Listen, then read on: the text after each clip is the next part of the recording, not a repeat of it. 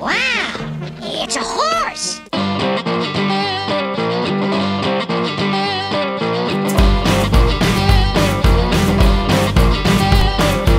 Welcome, He fans! Time for another trip to Eternia. This time we're taking a look at the newest addition to the Masters of the Universe Classics line. It's He Man's Heroic Armored Horse. His name is Stridor. And if you'd like to get your own steel steed for the most powerful man in the universe, they're in stock now at Big Bad Toy Store. The perfect companion for He-Man. In 2016, Night Stalker was released in the Classics line, and I immediately wondered What about Stridor? It took two years, but we finally have the other Eternian Robo Stallion. Like the Matty Collector releases of the Classics figures and vehicles, Stridor comes with an outer box to protect the packaging for those who want to keep him mint in box. And a nice upgrade from the old Matty Collector days is the package inside is now wrapped with bubble wrap to protect it even further.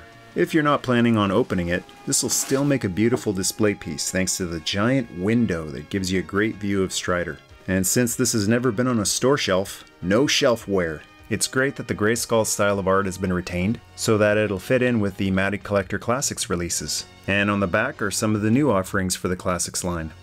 Okay, let's let the Cyber Horse roam. Extra care has been taken to protect Stridor during shipping. He's securely attached to his plastic shell, and even has these shoulder caps to keep him even more secured. So as you've probably noticed from watching my videos, it's not just about the toy and its functionality and play features for me. The character is just as important. Being a big Western fan, I've got an affinity for horses, and since Filmation's other show BraveStarr is one of my all-time favorite animated shows, and BraveStarr's robotic Big Pard 3030 is my favorite character on that show, I've naturally got a big soft spot for any Filmation robotic horse. Who is he? What's his story? Well, Big Pard, Stridor only appeared in one episode of Masters of the Universe, Origin of the Sorceress, and his screen time was split with the Origin of the Sorceress storyline. But even so, the character received a pretty nice little arc. He was created by Man at Arms with two main attributes, He has terrific strength which comes in handy for hauling heavy loads, and a computer system that can detect trouble quickly. and his other attribute is for defense purposes. Wow! He can warn the people of Eternia and Etheria at the same time with those pipes. When He-Man gets called away on a mission, he decides to take Stridor along instead of Battlecat. A robot like Stridor might come in handy. Well then, take him, He-Man, with my best wishes.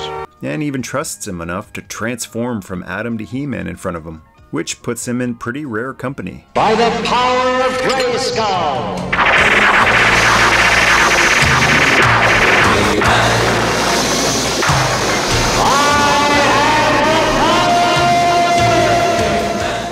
Maybe it's not just trust. At that point, He-Man just thought of Stridor as a robot, not a sentient living creature. But being a non-living thing provided another hidden talent. He was able to pass through force fields that could keep living things out. A little further, Stridor. Come on, you can do it. Stridor proves to be more than just a robot. He's just as noble and self-sacrificing as He-Man. And because the adventure took a lot out of the poor guy, He-Man decides to repay the favor and give him a ride back to Eternos. Stridor carried me here. It's only fair that I return the favor. That was another great life lesson. When someone does you a solid, do one back for them. In fact, go even farther. And after what Stridor just did, I'd carry him to the other side of the planet if I had to. Okay, let's talk about articulation. The original didn't have much, but the classics version has tons in legs. They bend at the body, knee, and foot. Interestingly, all of the legs on mine move smoothly except for one that feels like a ratchet joint. They all hold securely though, and the bend in the foot allows him to have the same raised foot pose as the original Stridor released in 84. And the posability allows for some powerful hind kicks to the evil forces of Skeletor. Yeah! Let's do some stomping! He's so sturdy, he can even stand up on his hind legs. Hi ho silver style. His tail helps a bit with keeping him balanced. The tail has quite a bit of range as well. It can go left and right, up and down. And check this out. It can pivot in and out thanks to being on a ball joint. That's some serious posability for a tail. The head has tons of posability too, thanks to these separate neck plates. It functions like a vertebrae. Each plate can move on its own and gives a lot of range. He can give that charming head tilt that horses do, or he can look straight up to keep an eye out for airborne threats or allies. On the cartoon, Stridor was a lot like Moss Man. He was never depicted as directly attacking anyone, just inanimate objects. Oops. Sorry, Rock On. And he didn't have any weapons on the show either. But like the original toy, this classics version retains the original side laser cannons, made of some bendy plastic, and the rear turret laser can turn left and right. His only accessories are two removable masks. The first one looks like the one that came with the original toy. It's made of some very soft plastic, and has become a bit warped from how it was squished to the side in the package. It's not symmetrical anymore when you remove it. There's an easy fix for this though. Just heat it up with a hairdryer for a minute. This will make it even floppier temporarily, so when you put it back on him, it'll reform to the shape of Stridor's head as it cools down. Nice and centered now, and it only took a minute to fix. Stridor's other mask is an orange recolor of the mask that was included with Night Stalker from 2016. This was originally going to be the only mask included with this version, but fans demanded that the original toy version mask be included as well. Since I don't own the Classics Night Stalker, I actually really like this mask. It looks like a Four Horsemen, the artists, not the wrestlers, 2000X version of Stridor. I think Stridor likes it too. And a third look is no mask. He reminds me a lot of 3030 this way, except more happy-go-lucky. The plastic feels different on the two masks. The Night Stalker recolor is sturdier. It's great that the original toy version mask was included, but it feels like it was made with a cheaper plastic. And a look at some of the detailing. There's a console in front of the rider that's a good old fashioned sticker, which I like since it takes me back to the days when most details on Masters of the Universe vehicles were stickers and not sculpting. And some machinery sculpting on the side. Many fans were hoping for a retool here, or at least a sticker featuring the classic shield design from the original. But I'm sure that option will be available by a talented customizer for those who want it. Okay, let's talk about how Stridor fares as a steed for Masters of the Universe Classics figures. Even though Stridor's lone adventure in the cartoon was with He-Man, in the toy line and mini-comic, he was more associated with Fisto. Does the giant fisted one fit? You're about to find out. Sort of. These classics figures don't have much forward bend in their legs thanks to the fuzzy shorts that hang over. And Fisto seems to have even less range than He-Man. The sword holder on his back gets in the way a bit too. You can wedge him in there, but I don't like forcing these figures in like that. You can warp the plastic on the shorts by doing that. The figures fit inside Stridor like the original, but I kind of wish that you could have the figure in a straddle position, like on a real horse. He's way too wide for that though. It's not a bad look. Fisto's bionic fist goes nicely with Stridor's robotic components, but I think the rider sits a little too low. It looks more like the figure is driving Stridor than riding a horse. So I like to have my figure actually standing up, almost like he's riding a chariot. Stridor is so huge, it actually looks a little closer to what the figure would look like if he was straddling. And how about a little past meets present? Here's the classic Stridor and Fisto with the originals. This is what I really like about the classics line.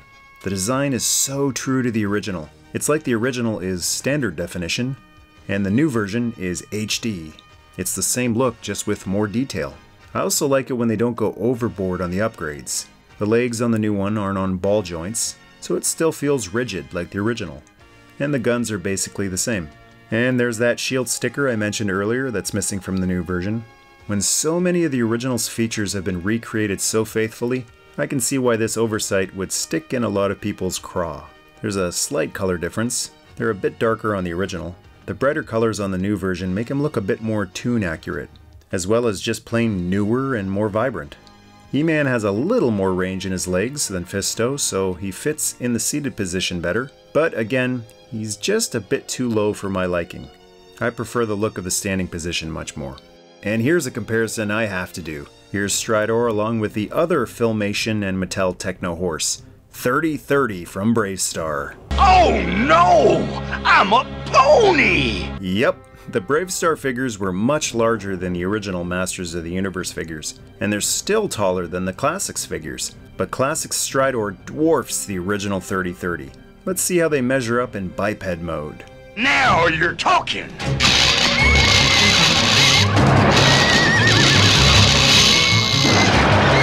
Thirty thirty measures up a little bit better when they're both upright, but Stridor is still taller. And he's much sturdier too. This 3030 can't stand upright on his own unless he's got this figure stand propping him up. I understand. I just don't like it. And in case you're curious, Stridor's mask doesn't fit on 3030's head, and 3030's harness almost fits on Stridor's head, but it pops off as soon as you let it go. Too small. And here he is with a few other Masters Classic steeds, alongside Swiftwind. Since He-Man's sister has always had her horse companion, it's cool to give He-Man an equestrian accomplice as well, even if he is just a robot. And alongside Arrow, Bow's steed.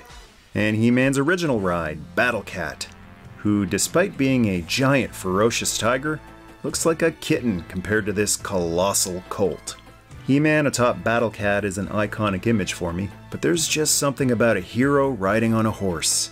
The Lone Ranger, the Duke, the man with no name, BraveStarr. I've eagerly awaited the opportunity to have a steed mounted He Man to display in my classics collection. Am I glad to hear that? I wonder what Stridor thinks about his new home in the 80s Toy Museum. This new electro thought monitor I've developed should show us exactly what's on Stridor's mind. Free. Free. Free. Free? But he's just a robot.